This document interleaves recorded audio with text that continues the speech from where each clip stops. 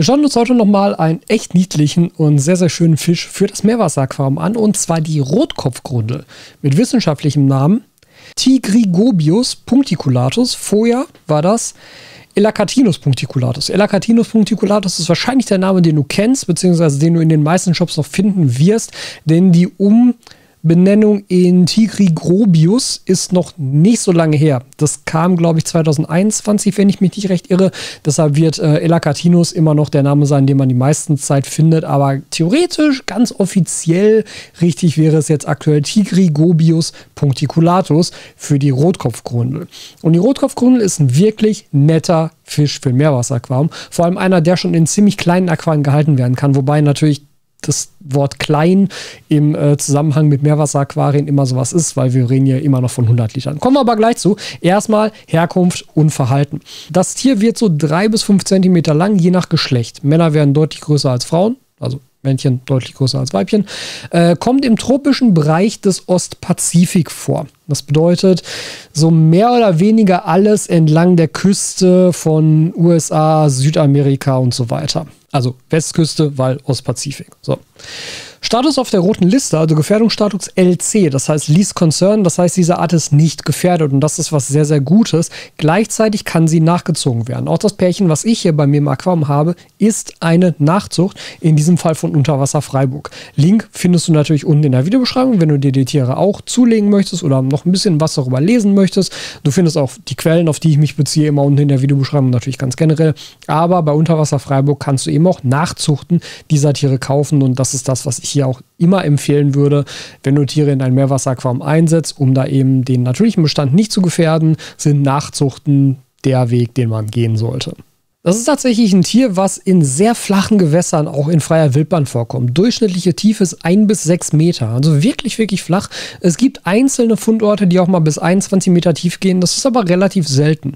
Das ist in freier Natur ein Symbiose-Cleaner-Fisch. Das heißt, das ist ein Fisch, der sich eben von den Hautparasiten sehr viel größerer Fische ernährt. Das kennt ihr garantiert. Und vor allem, wenn ihr mein Video über die Blaustreifen-Seenadeln schon gesehen habt, dann wisst ihr, die haben das auch so gemacht. Also viele dieser kleinen Fische sind eben in freier Natur Symbiosetiere mit sehr viel größeren Tieren, bei denen sie halt einfach Parasiten von der Hautoberfläche fressen und sich davon ernähren. Das ist im Aquarium halt nicht der Fall, weil der große andere Fisch fehlt, weil er müsste halt sehr groß sein und das würde dann bedeuten, man braucht ein sehr, sehr, sehr großes Aquarium. In der Regel ist das, was man höchstens in Zoos noch sehen würde. Aber da sieht man dann das kleine Tierchen nicht so richtig, weil man halt nur Augen für den großen Fisch hat. Also das ist, wie gesagt, etwas, was im Aquarium nicht stattfindet. Da geht es aber eben auch nur um die Nahrungsbeschaffung. Da geht es nicht darum, dass es eine lebenswichtige Symbiose ist, sondern da geht es halt um die Nahrungsbeschaffung. Und die kann man im Aquarium natürlich anders regeln. Interessanterweise kommen diese Tiere in freier Wildbahn auch sehr häufig mit bestimmten Seegurken oder bestimmten Seeigeln zusammen vor. Das Lustige daran ist, das ist keine Symbiose. Ja, keines dieser beiden Tiere arbeitet irgendwie mit dem jeweils anderen zusammen. Und es ist wissenschaftlich bisher noch nicht erklärt, warum diese Tiere immer zusammen auftreten. Sie haben nichts miteinander zu tun, sie profitieren nicht voneinander, aber trotzdem gibt es dieses, diese Zusammenkunft, die man nachweisen kann, aber man weiß nicht wieso. Sowas finde ich immer spannend tatsächlich. Gehen wir jetzt aber mal weiter zu den Haltungsbedingungen im Aquarium. Und da, wie gesagt, ist das ein Tier, was halt schon in relativ kleinen Becken gut gehalten werden kann. Da reden wir eben ab 100 Liter aufwärts. Temperaturbereich 21 bis 28 Grad. Das ist ziemlich breit für ein Meerwassertier. Natürlich nach oben ist es immer begrenzt. Und das ist auch unser größtes Problem im Sommer, dass wir Meerwasseraquarien halt immer schon aktiv kühlen müssen. Die dürfen nicht zu heiß werden, sonst wird es ein bisschen schwierig. Auch für die Korallen, also nicht nur für die Fische. Ähm, aber ab 100 Liter kann man die gut halten. Und da kommt es natürlich auch hinzu, dass diese Grundeln, wie der Name schon sagt, sind Grundeln. Sie sind also keine wirklichen aktiven Schwimmer, die sich durch das Becken bewegen, sondern sie mehr oder weniger laufen halt über den Sand und über den Steinaufbau, über den Riffaufbau. Sie schwimmen nicht kreuz und quer durchs Becken. Also sie können auch schwimmen, so ist es nicht. Ne? Gerade wenn man Futter reinschmeißt, dann sind sie auch wirklich aktiv dabei und schwimmen. Aber das ist sehr selten. Normalerweise bewegen sie sich immer auf Oberflächen bzw. auf dem Bodengrund. Es ist ein wirklich sehr friedlicher Fisch, der wunderbar vergesellschaftbar ist mit anderen Tieren im Aquarium. Bei mir ist es ja jetzt so, ich habe jetzt bei mir in dem Becken, ich habe einen Chromis viridis, ich habe ein Pärchen im Terracoren cauderni, ich habe ein Pärchen Clownfische, ich habe ein Pärchen Blaustreifenseenal und eben ein Pärchen der Rotkopfgrundel. Die kommen alle wunderbar miteinander klar. Ich habe auch noch ein Exenius stigmatura bei mir drin. Das ist der einzige Fisch, der die Rotkopfgrundel irgendwie nicht so richtig mag. Ja, also der Exenius stigmatura, der besetzt ja auch gerne mal so kleine Höhlen. Ist keine klassische Grundel, aber besetzt ja auch so kleine Höhlen manchmal. Und wenn die Grundeln dem zu nahe kommen, dann wird der patzig und geht auf die Grundel los und verscheucht die. Aber das ist auch der Einzige, der irgendein Problem mit den Grundeln hat. Aber solange da irgendwie, keine Ahnung, 10 cm Platz zwischen den Tieren ist, gehen die auch nicht aufeinander drauf. Der Exenus hat auch noch nie irgendwelche Verletzungen erfordert. Der schwimmt halt nur hin und verscheucht die mehr nicht. Aber das ist der einzige, wo mir aufgefallen ist, dass es überhaupt irgendeine Art Konkurrenzkampf geben könnte.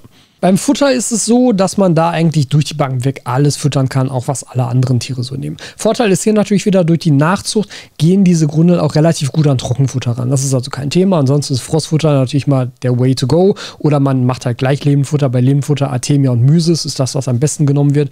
Artemia und Nauplien werden auch genommen, weil ich halt Nauplien auch füttere, vor allem für die Seenadeln, weil die halt so ein winziges Maul haben. Das sind Nauplien deutlich besser geeignet. Äh, oder Zyklops ab und zu mal. Die fressen das alles, ja. Also die Grundeln fressen echt alles durch die Bank Bank weg. Auch das Trockenfutter. Da benutze ich ja die ganze Zeit das Sea Friendly Reefs Trockenfutter, was ihr auch bei mir im Shop bekommen könnt. Link dazu übrigens auch unten in der Videobeschreibung. Falls ihr also noch Futter braucht, kann ich sehr empfehlen. Wird eben auch von den Meerwassertieren alles problemlos angenommen, was da natürlich ein großer Vorteil ist. Aber Futter ist wirklich gar kein Stress mit den Tieren. Insgesamt finde ich das eine richtig schöne Ergänzung. Ich finde vor allem bei Grundeln toll, dass man halt hier einen anderen Lebensraum mit einem Fisch besetzen kann, den man im Aquarium ansonsten mit anderen Tieren vielleicht nicht abbildet. Das ist im Süßwasser, glaube ich, noch ein bisschen leichter. Da hat man viele Bodenbewohner, die ganzen Welsarten, gerade die ganzen Panzerwälse und so. Das ist ja schon eher immer alles sehr bodenbezogen.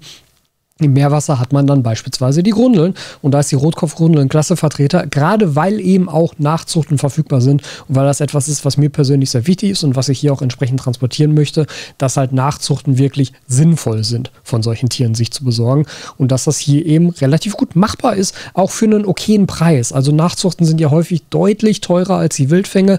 Das ist jetzt bei der Rotkopfgrundel auch so, aber nicht in so einem krassen Rahmen, wie es bei manch anderen Tieren der Fall ist, weil sie einfach ein bisschen leichter, ein bisschen schneller nachgezogen werden kann. Das ist also eine absolute Empfehlung. Richtig schönes Tier, was man sich noch ergänzend in sein Meerwasseraquarium reinsetzen kann. Macht Spaß, sie zu beobachten, weil die wirklich aufgeweckt sind, neugierig.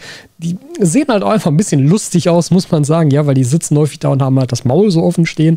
Das ist ein, das ist ein ganz äh, lustiger Anblick. Also ich bin sehr, sehr glücklich mit meinem Pärchen Rotkopfgrundel, was ich hier bei mir drin habe.